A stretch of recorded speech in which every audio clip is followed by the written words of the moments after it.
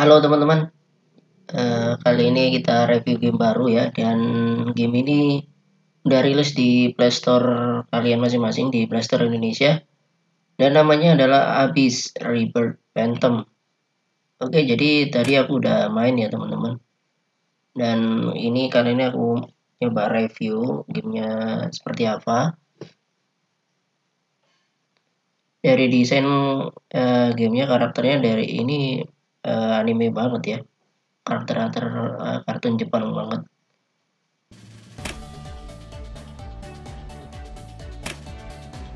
Oke jadi inilah tampilan pertamanya tampilan roomnya dan ini uh, ada questnya teman-teman.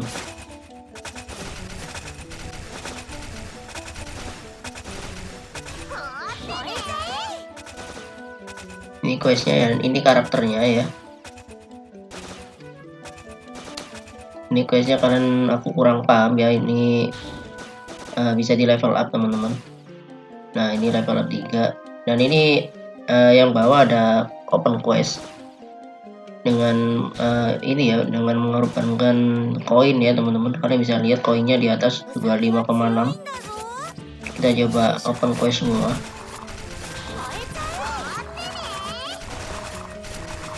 Ya seperti inilah gamenya. Gamenya otomatis teman-teman dan untuk karakternya ini kalian bisa klik uh, level up di sini untuk level up karakter ya. Dan di sini bisa level up jadi level 2 lihat kalian bisa level 2 3 dan ini untuk level up teman-teman ada di tombol karakter. Dan di sini ya, bentar ya. Jika kalian klik di gambar karakternya misalnya yang paling kiri ini ya. Nah di sini kalian bisa enhancement karakter kalian enhance seperti attack dan defense health di sini oke okay, kita coba yang itu kan nambah ya teman-teman. Dan ability ini bisa ditingkatkan ya. Bisa kita coba level up bentar. Misalkan ini 200 oke. Okay jadi seperti itu teman-teman. Kita coba uh, enhance dulu karakternya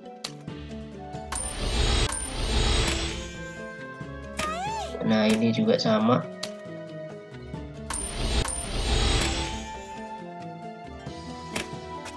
Kita kembali ke quest teman-teman. Ini nggak tahu ya aku level up di sini untuk level up apa? Kurang paham. Kayaknya untuk uh, level up nambahin difficultnya questnya sendiri teman-teman. Kemungkinan ya aku juga sendiri kurang tahu. Dan di sini ada tombol uh, relic ini kurang tahu aku coba uh, nah ini. Ini ada relic ya kita coba klik aja saat uh, boleh lihat by relic uh, no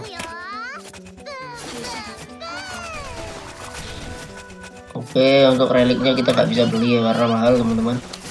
Kita coba uh, dungeon di sini kalian bisa klik uh, yang sebelah kanan.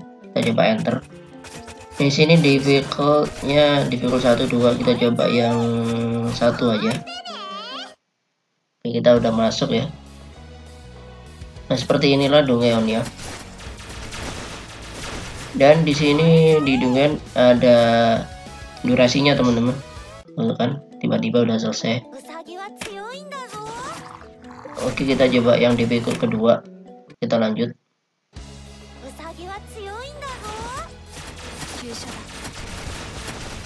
Ada aduh mati teman-teman. Oke kita kalah ya. Kita coba yang di vehicle pertama aja deh kalau gitu. Kayaknya belum kuat kalau yang kedua.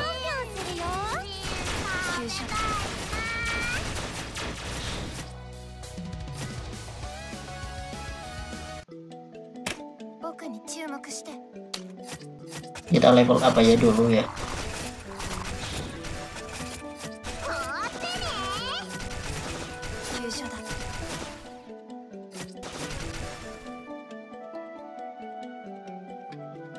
udah level 18 sekarang. Ya kita level 20 sekalian. Oke kita coba Dungeon lagi kita enter. Kita coba difficult yang kedua kemungkinan bisa ya.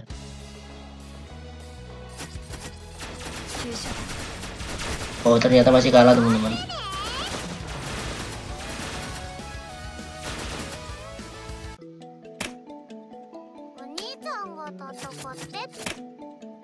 coba ability.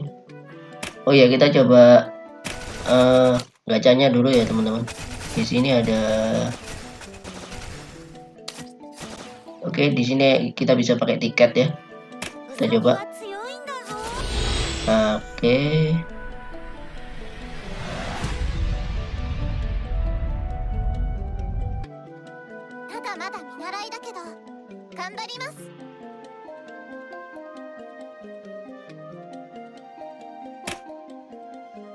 nggak bisa langsung 10 ya teman-teman.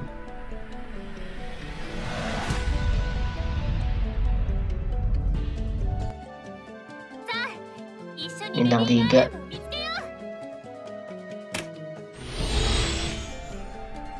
kita skip. Bintang 1 bintang 3 skip. Bintang 2 lagi. Bintang dua lagi.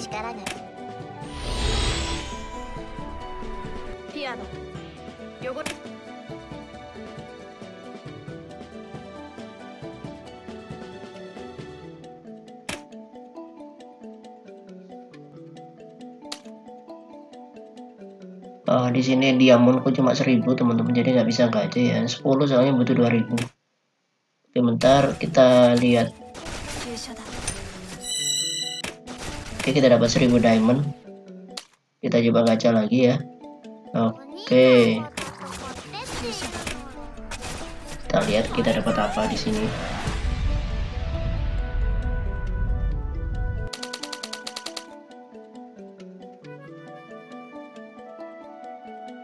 Oh Oke, ada bintang 3, 2, 3, 2, 2, 2, 1, 2, Oke nggak ada yang bintang 5 ya teman-teman. Bintang 5 nya nggak ada. Kita nggak dapet. Kita coba yang ini. Summon again. Kita habisin tiketnya.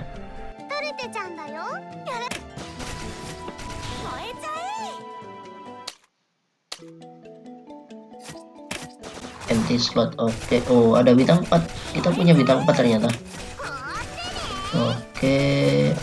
rilis oh minimum tiga karakter ya di sini hmm.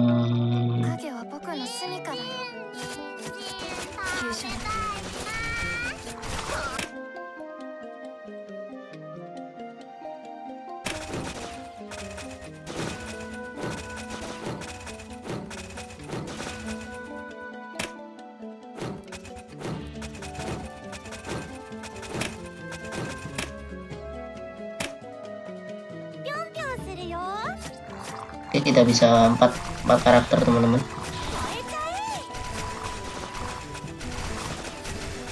Oke bentar kita level up dulu ya yang ini. Oh kita enhance dulu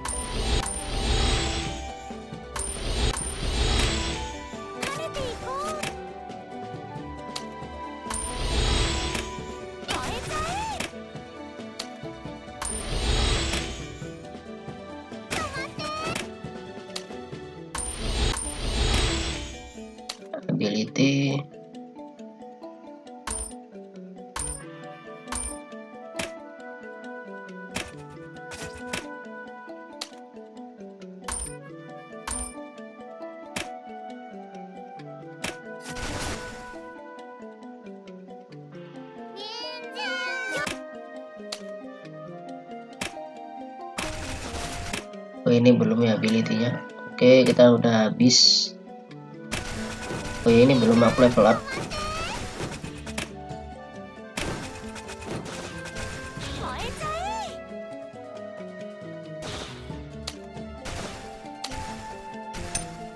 Kita dapat diamond di sini. Lumayan ya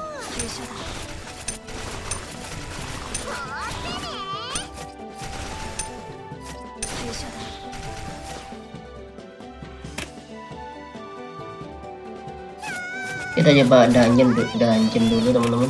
Di fitur yang kedua kali aja udah kuat. Oke masih kalah aja teman-teman ya di sini.